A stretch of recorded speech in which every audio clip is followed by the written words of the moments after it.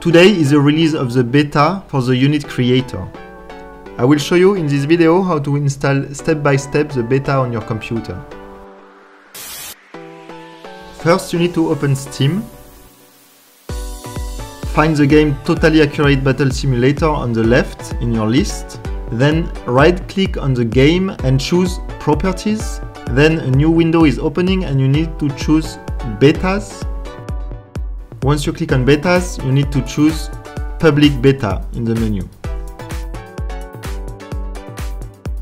And then you need to close the screen. You will see the beta will be downloading directly in Steam. Currently the beta is only running on Steam, but the full update will be released on Epic and Xbox later. The plan is to release the full update for the unit creator somewhere in November or December. Once the download is done, you can open the game.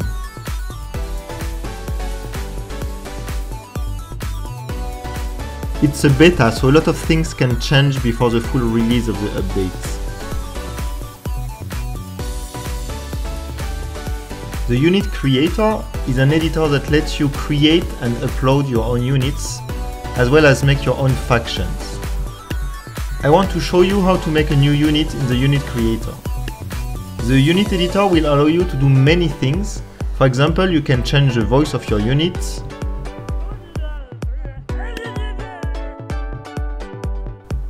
You can also pitch it up a bit.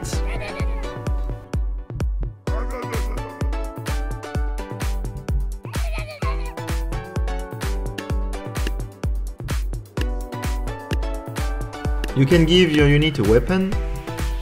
You can choose between every faction weapon like Ancient or Dynasty.